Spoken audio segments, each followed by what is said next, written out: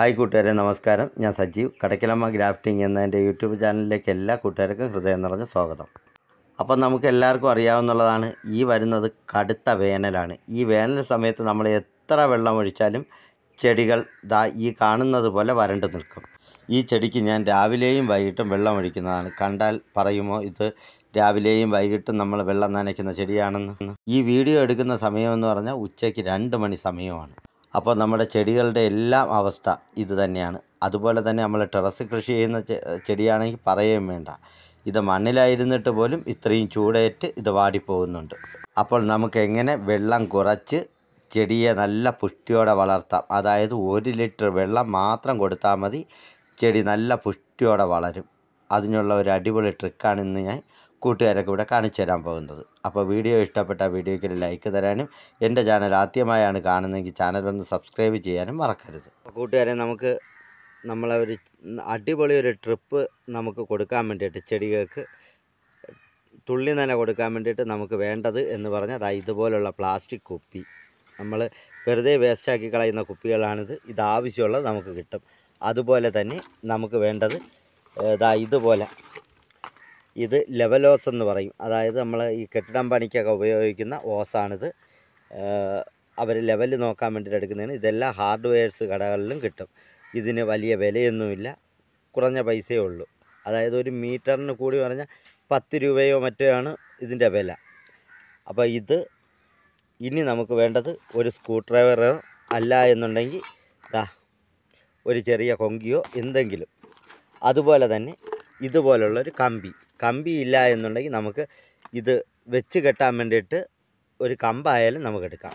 കമ്പി കൊടുക്കുന്നതിന്റെ ഉദ്ദേശം എന്ന് പറഞ്ഞാൽ നമ്മളിത് ചെടിയുടെ ചുവട്ടിലേക്ക് ഇങ്ങനെ ഊന്നി വെച്ച് കൊടുക്കുമ്പോൾ ഓട്ടോമാറ്റിക്കായിട്ട് ഈ കമ്പി നനവടിക്കുകയും ആ നനവുള്ള ഭാഗം തുരുമ്പെടുക്കുകയും ചെയ്യും. ഈ വെള്ളം ഓരോ നനവുകൾ കൂടുന്തോറും ഈ തുരുമ്പ് മണ്ണിലേക്ക് ലയിക്കും. അതിലൂടെ നമ്മളെ ചെടിക്ക് കുറച്ച് അയൺ വലിച്ചെടുക്കാൻ സാധിക്കും. അത് അതുകൊണ്ടാണ് ഈ കമ്പി ഞാൻ കൊടുക്കണമെന്ന് പറഞ്ഞത്. ഇല്ല എന്നുണ്ടെങ്കിൽ ഈ കമ്പി എല്ലാവർക്കും കിട്ടിയില്ല എന്നുണ്ടെങ്കിൽ ഇതുപോലൊരു കമ്പ് നമ്മൾ എടുക്കുക. ഇല്ല എങ്കിൽ പൈപ്പ് എടുക്കുക. അപ്പോൾ ഇത് നമുക്ക് എങ്ങനെയാണ് സെറ്റാക്കുന്നതെന്ന് നോക്കാം. ആ അതുപോലെ തന്നെ പറയാൻ വിട്ടുപോയി. ഇതാ ഇതുപോലെ കുറച്ച് കോട്ടൺ തുണിയും നമുക്ക് വേണം. ഇതുപോലെ തുള്ളി നനയൊക്കെ നമ്മൾ ശരിയാക്കാൻ വേണ്ടിയിട്ട് നമുക്ക് വേണ്ടത് എപ്പോഴും കോട്ടൻ തുണിയായിരിക്കണം. പ്ലാസ്റ്റിക് തുണി എടുക്കരുത്. കോട്ടൻ തുണിയാണ് വേണ്ടത്. ഇനി നമുക്ക് നേരത്തെ കണ്ട് കണ്ട ആ പൈപ്പിനെ ഇതാ ഈ കഷ് ഇതുപോലൊരു ചെറിയ കഷ്ണമായിട്ട് എടുക്കുക. ഒരു പതിനഞ്ച് സെന്റിമീറ്റർ നീളത്തിൽ നമ്മൾ കട്ട് ചെയ്തെടുക്കുക. അടുത്തായി നമ്മളെടുത്ത കോട്ടൺ തുണി രണ്ടായിട്ട് ഒരു മൂന്ന് സെന്റിമീറ്ററോ നാല് സെന്റിമീറ്ററോ വീതിയിൽ നീളത്തിൽ കീറുക. കീറിയതിന് ശേഷം ഇതിനെ രണ്ടായിട്ട് മടക്കുകയോ മൂന്നായിട്ട് മടക്കുകയോ ചെയ്യുക. അതുപോലെ തന്നെ ഇതിനെ ഒന്ന് പിരിച്ചു കൊടുക്കാനും മറക്കരുത്. അതായത് തുണി നേരെ കിടക്കരുത്. ഒന്ന് ഇതുപോലെ ചുരുട്ടി പിരിച്ചു കൊടുക്കണം. അതായത് നമ്മൾ പൈപ്പിലൂടെ കടത്തിവിടുന്ന ഈ തുണി അത് എത്ര ടൈറ്റിലിരിക്കുന്നു അത്രയും സ്പീഡിലാണ് വെള്ളം വീഴുന്നത്. ഇതിന്റെ സ്പീഡ് അഡ്ജസ്റ്റ് ചെയ്യാൻ വേണ്ടിയിട്ട് നമുക്ക് തുണി ലൂസാക്കി കൊടുത്താൽ വെള്ളത്തിന്റെ സ്പീഡ് കൂടും. അതുപോലെ ടൈറ്റാക്കി കൊടുത്താൽ വെള്ളത്തിന്റെ സ്പീഡ് കുറയും. ശേഷം നമ്മൾ പ്ലാസ്റ്റിക് കുപ്പി എടുത്തതിന് ശേഷം അതിന്റെ അടപ്പ് ഇങ്ങനെ ഓപ്പൺ ചെയ്യുക. ഇനി നമുക്ക് ഇതിലേക്കൊരു ഹോൾ ഇട്ട് കൊടുക്കണം. ഹോളെന്ന് പറഞ്ഞാൽ വലിയ ഹോൾ ഇടരുത്. ദാ നമ്മൾ നേരത്തെ എടുത്ത പൈപ്പ് ഇതിലേക്ക് കയറി പോകത്തക്ക വിധത്തിൽ മാത്രം. അത് നല്ല ടൈറ്റ് തന്നെ ഈ പൈപ്പ് ഈ കുപ്പിന്റെ അടപ്പിനകത്ത് കയറിയിരിക്കണം. അത് നമുക്ക് എങ്ങനെയാണെന്ന് നോക്കാം. ദാ ഇതുപോലെ ഈ കുപ്പിയിൽ നിന്ന് കുപ്പിയുടെ അടപ്പിൽ നിന്ന് ഒരു രണ്ട് ഇഞ്ച് പുറത്തേ അകത്തേക്ക് തള്ളി നിൽക്കത്തക്ക വിധത്തിൽ വേണം പൈപ്പ് നമ്മൾ ഇടാൻ എന്നിട്ട് ഇത് നല്ലതുപോലെ ടൈറ്റ് ആയിരിക്കണം. അതായത് ഈ ഹോൾ വഴി വെള്ളം പോകാത്ത വിധം. പശ വെച്ച് ഒട്ടിക്കുകയൊന്നും വേണ്ട. നമ്മളിതുപോലെ ടൈറ്റ് ചെയ്തങ്ങ് നിർത്തിയാൽ മതി. വെള്ളമൊന്നും ലീക്കാവില്ല നല്ല ടൈറ്റ് ഉണ്ടാവണം. അടുത്തായി ഇതുപോലെ ഒരു ചരടെടുത്ത ശേഷം അതിനെ നമ്മൾ ഈ ചരടിനെ നമ്മളെ പൈപ്പിനകത്തൂടെ കടത്തി വിടണം. ദാ ഇതുപോലെ കടത്തി വിട്ട ശേഷം ദാ കണ്ടോ? ഇതുപോലെ കടത്തി പുറത്ത് വന്നതിന് ശേഷം ഈ കെട്ട് അഴിച്ചു കൊടുക്കുക. ദാ അടിഭാഗത്ത് പൈപ്പിന്റെ ഏറ്റവും നീളം കൂടിയ അറ്റത്ത് നമുക്ക് ഒരിഞ്ച് നീളത്തിലും അതുപോലെ തന്നെ മുകൾ ഭാഗത്ത് ഒരു നാലിഞ്ച് നീളത്തിലും അഞ്ച് നാലോ അഞ്ചോ ഇഞ്ച് നീളത്തിലും നമുക്ക് തുണി ഇട്ടേക്കാം. ദാ ഇതുപോലെ.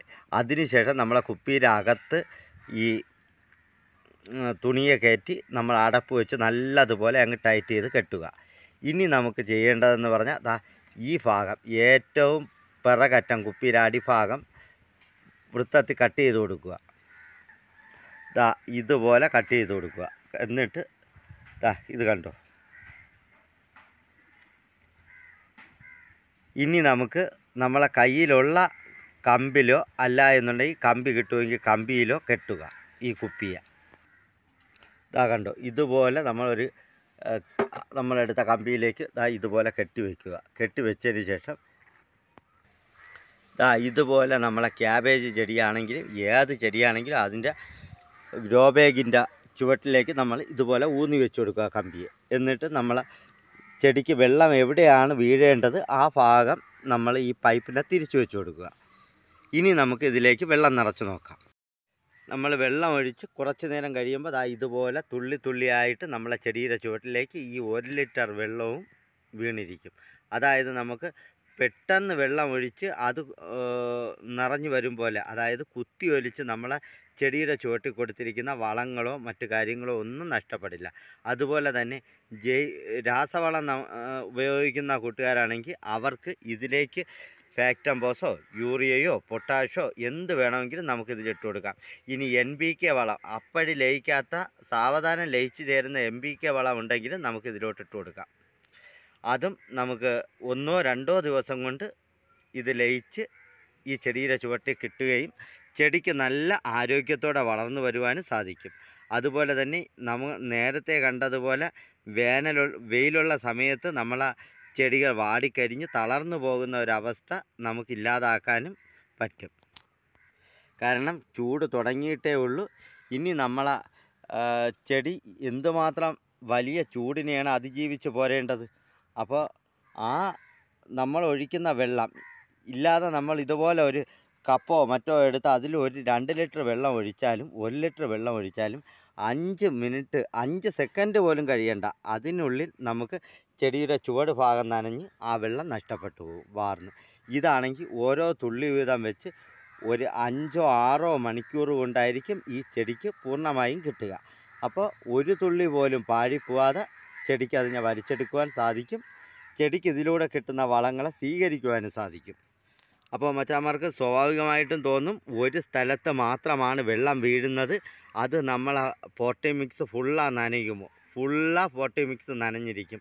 അല്ല ഒരു പകുതിയാണ് നനയുന്നത് എങ്കിൽ പോലും ആക്റ്റീവായിട്ടുള്ള റൂട്ട് സോൺ എപ്പോഴും ഈ വെള്ളം വീഴുന്ന സൈഡിൽ വന്നെത്തുകയും അവിടെ നിന്ന് ഇതിനെ ചെടിക്ക് വേണ്ടതിനെ സ്വീകരിക്കുകയും ചെയ്യും. അതുപോലെ തന്നെ നമ്മൾ ആ പോട്ടേ മിക്സ് നല്ലതുപോലെ ഉൾഭാഗം നനഞ്ഞിരിക്കും. ഞാനിത് വേനൽ സമയങ്ങളിൽ ടെറസ് കൃഷിക്കൊക്കെ വളരെ ഉപയോഗിക്കുന്ന നല്ലൊരു അടിപൊളി മാർഗമാണ്. അപ്പോൾ ഈ വീഡിയോ ഇഷ്ടപ്പെട്ട വീഡിയോയ്ക്ക് ഒരു ലൈക്ക് തരാനും എന്റെ ചാനൽ ആദ്യമായാണ് കാണുന്നതെങ്കിൽ ചാനലൊന്ന് സബ്സ്ക്രൈബ് ചെയ്യാനും മറക്കരുത്. ഇതുപോലെ നല്ല പുതിയൊരറിവുമായി നമുക്ക് അടുത്ത ദിവസം കാണാമെന്ന ശുഭപ്രതീക്ഷയോടെ നിർത്തുന്നു. എല്ലാ കൂട്ടുകാർക്കും നന്ദി നമസ്കാരം.